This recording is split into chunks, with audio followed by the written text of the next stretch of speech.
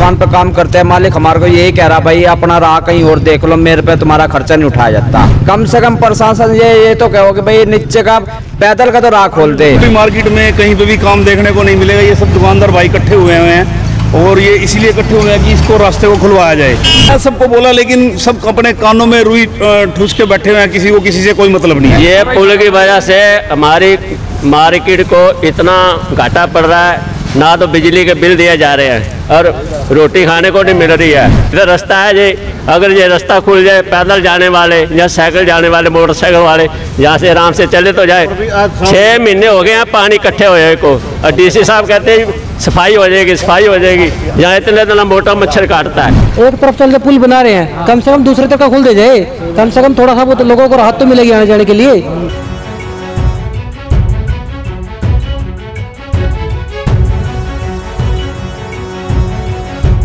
प्रिय घर खरीदारो। क्या आप अपना घर लेने के लिए सोच रहे हम्म अगर हाँ तो अपने घर का सपना समय से पहले पूरा करने के लिए एम्पीरियम से ही घर लेना। क्योंकि एम्पीरियम पिछले कई सालों से लगातार समय से पहले पोजेशन दे रहा है। चाहे लेना हो फ्लोर या विला या ही लेना हो प्लॉट आपको सब मिलेगा समय से पहले। आधुनिक सुविधाओं और बेहतरीन क्वालिटी के साथ वो भी किफायती दाम पे। इसलिए जब भी अपना घर हो लेना एम्पीरियम से ही लेना। एम्पीरियम में घर होगा। तस्वीरें आप देख रहे हैं पानीपत के असंद रोड अंडरपास की जिसे चौड़ा करने का काम किया जा रहा है। लेकिन अब ये काम काफ़ी धीमी गति से चल रहा है, जिसकी वजह से लोग काफ़ी परेशान हैं। न सिर्फ़ राहगीर, बल्कि दुकानदार भी काफ़ी परेशान हैं। लोगों का कहना है कि अंडरपास बंद होने की वजह से लोगों को अपनी जान जोखिम में डालकर रेलवे ट्रैक को पार करना पड़ता है। इतना ही नहीं, अगर वहाँ से वो जाते हैं तो उनका चालान भी होता है। तो ऐसे में आज सभी दुकानदार और आसपास के लोग इकट्ठा हुए और मांग की है कि इस अंडरपास को इतना खोल दिया जाए कि कम से कम पैदल लोग जा सकें। काफ़ी टाइम से बन रहा है ये अंडर ब्रिज जो बना रहे हैं लेकिन इसका काम रुका हुआ है और यहाँ का जो कारोबार है वो बिल्कुल ठप पड़ा है। और यहाँ से तीन कॉलोनियाँ साथ में लगती हैं लोगों का आवागमन जो यहीं से है और उनको कोई रास्ता नहीं है। ओवर ब्रिज के ऊपर से निकलते हैं भीड़ बहुत ज़्यादा है और रेलवे क्रॉसिंग करते हैं उसमें हादसे का डर बना रहता है चौबीस घंटे। तो इस वजह से गवर्नमेंट से अपील करेंगे कि इसको जल्दी से जल्दी इस प्रोजेक्ट को पूरा किया जाए। ये पुल की वजह से हमारी मार्केट को इतना घाटा पड़ रहा है ना तो बिजली के बिल दिए जा रहे हैं और रोटी खाने को नहीं मिल रही है। और ऊपर से जाएँ तो पुलिस वाले वहाँ खड़े हो जाते हैं आ जाओ बाबू चलान कटवा लो पहले। इधर रास्ता है जी अगर ये रास्ता खुल जाए पैदल जाने वाले या साइकिल जाने वाले मोटरसाइकिल वाले यहाँ से आराम से चले तो जाए। छः महीने हो गए हैं पानी इकट्ठे हुए को और डीसी साहब कहते हैं सफ़ाई हो जाएगी सफ़ाई हो जाएगी। यहाँ इतना इतना मोटा मच्छर काटता है। कहाँ से सफ़ाई हो जाएगी? इधर ये नाला उखाड़ के रखा है। ये छः महीने हो गए हैं। जन्माष्टमी आ रही है। लोग क्या इसमें गिर गए, फिर क्या जिम्मेवार होगा कोई? ये प्रशासन है बस। जो हो जाए तो ठीक है बस। प्रशासन भी जब काम करता है, जब मीडिया पे कोई आता है, वैसे कोई नहीं करता। प्रशासन भी ऐसे करता है। इधर आने जाने वालों को इतनी दिक्कत है। बच्चे हैं लैंड पार करते हैं स्कूल वाले। वो क्या करते हैं अभी C R C R P वाले चलान काट देते हैं। डिलान पार करना जुर्म है। अब बताओ कहाँ से आए? इसलिए मैं कह रहा हूँ कि प्रशासन से भी ये रास्ता खुल जाए ताकि बच्चे नीचे आने जाने वाले स्कूल वाले, उनको कोई दिक्कत ना हो। कोई और भी, कोई हो उसको भी कोई दिक्कत ना हो। इतनी को मैं सेवा कह सकता हूँ। वहीं तस्वीरें आप देख सकते हैं कि पहले यहाँ पर बरसात का पानी कई कई दिनों तक खड़ा रहता था, जिसके चलते इसको चौड़ा किया जा रहा है ताकि न सिर्फ़ जाम से मुक्ति मिले, बल्कि पानी भी गंदा यहाँ पर इकट्ठा ना हो।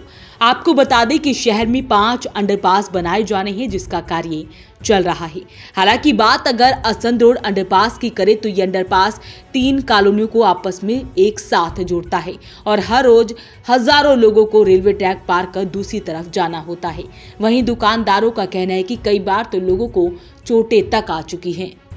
सर, ये ऐसा है कि ये रेलवे के लिए इन्होंने जगह कही थी कि ये पुल चौड़ा करेंगे। उसके बावजूद ही इन्होंने ये पुल तो बना दिया लेकिन रास्ता अभी तक नहीं खोला। जिसकी हमें असुविधा हो रही है पूरी मार्केट में कहीं पे भी काम देखने को नहीं मिलेगा। ये सब दुकानदार भाई इकट्ठे हुए हुए हैं और ये इसीलिए इकट्ठे हुए हैं कि इसको रास्ते को खुलवाया जाए। इससे बहुत ज़्यादा दिक्कत हो रही है। शहर में एकमात्र रास्ता यही आने जाने के लिए है और हम लोगों को बड़ी परेशानी हो रही है। परली मार्केट वाले भी इसी बात के लिए सहमत हैं वो भी ये कहते हैं कि आप सब इकट्ठे हो इकट्ठे होके जो है ये बात जो है आगे की जाए। हाँ। जी।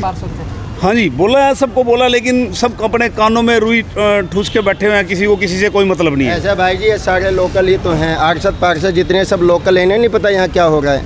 यहाँ भूखे मर रहे हैं बैंक की ई देनी है इसकी ईएमआई देनी है स्कूल फ़ीस देनी लठ पे लठ आ रहा खर्चे का। काम भाई साहब बिल्कुल पिटा हुआ है। दो काम बचे हैं। अब रात को या तो काला कच्छा बन जाए। समझ रहे हो क्या होता है काला कच्छा? तो या तो रात को काला कच्छा बने। या फिर जी नंगा नहाएगा क्या नचोड़ेगा क्या वो हालत बना लें। तो यहाँ के जो विधायक भाई इंग्लैंड से नहीं आते हमारे यहाँ आस पास के उन्हें सब पता है। बताना कुछ नहीं भाई जी लेकिन ज़्यादा नहीं बोलना चाहिए क्योंकि हम हैं बहुत मामूली आदमी और रात को काला कच्छा बनने की सोच रहे हैं और ईडी और सीबीआई आ गई। है नहीं कुछ भी। और ईडी और सीबीआई का डर यहाँ भी सताने लग जाएगा तो ज़्यादा कम कहना वो ठीक रहेगा। लेकिन मामला बहुत ख़राब है। भाई साहब, ऐसा है यहाँ पे जी छः महीने हो गए पूरे। ये रास्ता बंद कर रखा है। दुकानों, हम दुकान पे काम करते हैं, मालिक हमारे को यही कह रहा, भाई, अपना राह कहीं और देख लो, मेरे पे तुम्हारा खर्चा नहीं उठाया जाता। क्यों? मेरी बोनी के लाले हो रहे हैं। कम से कम प्रशासन ये ये तो कहो कि भाई, नीचे का पैदल का तो राह खोल दे। बाइक का या पैदल का राह खोल दे जब ऊपर से कार चली जाए नीचे से कम से पैदल का। और कई आदमी तो यहाँ से पुल के ऊपर से टपने के चक्कर में कोई पीछे कलाबादी खा रहा है कोई उधर कलाबादी खा रहा है। किसी कई आदमियों के तो कम से कम दस आदमियों के तो सर फूटते हुए मैंने देखे इधर से जाते हुए। कहते हैं डॉक्टर की दुकान पे कहाँ है भाई? उनको मैंने खुद ही बताया ये सामने डॉक्टर की दुकान है। कम से कम नीचे का पैदल का तो खुलवा दो जी। हाथ जोड़ के विनती है बस। दुकानदारों का कहना है कि उनकी दुकानदारी बिल्कुल ठप पड़ी है। लोग जान जोखिम में डालकर ऊपर से आते हैं तो दूसरी तरफ़ उनके चलान भी किए जाते हैं। तो ऐसे में उन्होंने आवाज़ उठाई है कि इसे या तो जल्द बनाया जाए या फिर एक तरफ़ का रास्ता खोल दिया जाए, ताकि पैदल लोग यहाँ से गुजर सके और उन्हें रेलवे ट्रैक भी पार ना करना पड़ा। तो आपसे अपील, इस वीडियो को आप ज़्यादा से ज़्यादा शेयर ज़रूर करें। वॉइस ऑफ़ पानीपत के लिए ब्यूरो रिपोर्ट।